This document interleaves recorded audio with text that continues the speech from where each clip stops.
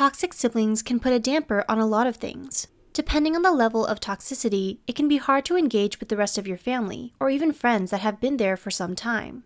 It can also put stress on you while you try to suppress your feelings for the sake of keeping things civil between the two of you. There's a myriad of reasons why we keep toxic siblings at arm's length. But what can we do once we've identified the issue? Here's 10 ways to deal with a toxic sibling.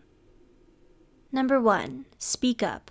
In all reality, your sibling might not even know that they are hurting you. In this case, it is imperative that you speak up and let them know how you are feeling. This could invite some issues if the sibling is aware of their behavior and doesn't care. But for your well being, it is something that you should highly consider. It is important to keep in mind that your sibling might feel attacked or just be unwilling to discuss things with you. If that is the case, it is best to take a break and revisit the conversation after your sibling has had some time to digest what you've already told them.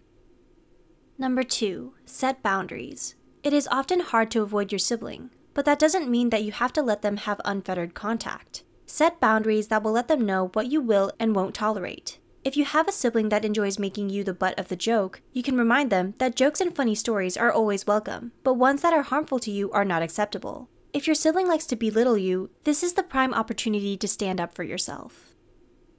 Number 3. Change the opportunities. If setting boundaries doesn't work and you're still getting nowhere with your sibling, you can cut the contact. If they have continued to target you, it might be time to tailor your actions around them. You might have a sibling that likes to make biting comments towards you when you're alone, so you may need to stick with a small group when they are around. If they like to single you out at the dinner table, perhaps sitting with other family and engaging in conversation with them is what's needed. Minimizing the opportunities your sibling has to get under your skin will make it much easier for you to be around them. It will also allow you to be around the rest of your family and to be happy while there. Number 4. Don't normalize their behavior. Do not let them think that what they do or say that is toxic is in any way alright. Make sure they know that what they did or said was wrong and why. In most cases, your sibling will try to diminish your feelings or brush the entire thing under the rug. Don't let them. Make it a point to address these issues regardless of what they have to say about what they've done. Let's be honest, they probably won't listen to what you have to say because abusive people rarely do, but it is important for you to assert yourself in this situation. Number 5. Walk away. This doesn't mean that you are walking away from them or your family. This just means that you are walking away from them and the situation at hand. If you aren't there, then they can't target you. They might talk about you a bit, but it stops being fun when you aren't there to give them visual or verbal feedback, and chances are they will get bored and move on to something else.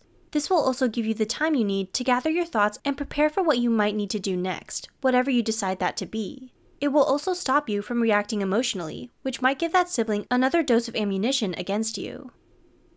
Number 6. Take the high road. Don't get upset, no matter how hard it might be. If your sibling is cutting you down for something, just let it roll off your back and be the bigger man. There is no reason for you to stoop to their level, and causing a scene may turn the tides against you when it comes to others. Not showing that you are upset will also take some of the fun out of what your sibling is doing. If you aren't taking the bait, then they won't put as much of it out there. Number 7. Counseling. Counseling can be a great way for you to get your feelings off your chest in a safe and secure environment. If you aren't sure how you want to confront your sibling, you can ask for advice and roleplay some scenarios to better plan for upcoming conversations that you might be having with them. If you've already spoken to your sibling and they are receptive to what you've said to them, then family counseling could be the next step in mending your relationship. Having an unbiased mediator there will boost your confidence as well as add protection in case your sibling starts to become angry or frustrated in the direction of the conversation. Number 8. Trust yourself. Do not rationalize the toxic sibling's behavior. It will only perpetuate the harmful cycle you are more than likely already trapped in. When someone treats you badly or says something hurtful, they are doing it on purpose, and there is no amount of internal monologue that will change that fact. If it feels like they are intentionally hurting you and it sits within their pattern of behavior, then chances are it was done in a calculated way to get at you. Your feelings and intuitions are there for a reason. Use them. Remember, no one has the right to tell you how you feel. If you feel that something is wrong, then trust that and look into it, just to be sure. Number 9. Try to trust them. If you have spoken to your sibling and they appear genuinely remorseful, then you should at least try to trust them. Trust might be something that you have a hard time with, given the track record of your relationship, but it is something that you should attempt. Don't fall for an apology that lacks feeling. Go with your gut on that one, but giving them the benefit of the doubt may be a much needed olive branch. You should continue to have boundaries and guard yourself when you feel most vulnerable around them. But in the long run, they might surprise you and change their ways. If they say they will try to change, yet continue to do the exact things they apologized for, then trusting them probably isn't something that you need to visit at that time. Number 10. Say goodbye.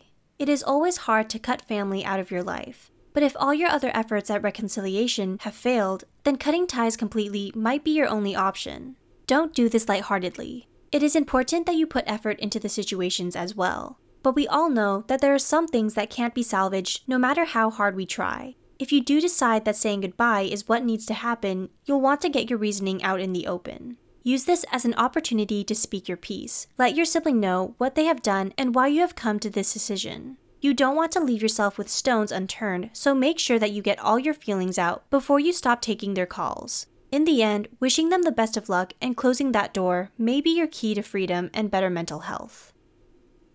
Have you had to deal with a toxic sibling in your life? Share your stories in the comments below. On a different note, Psych2Go will now be selling shirts. Links will be in the description below. As always, don't forget to subscribe and thanks for watching.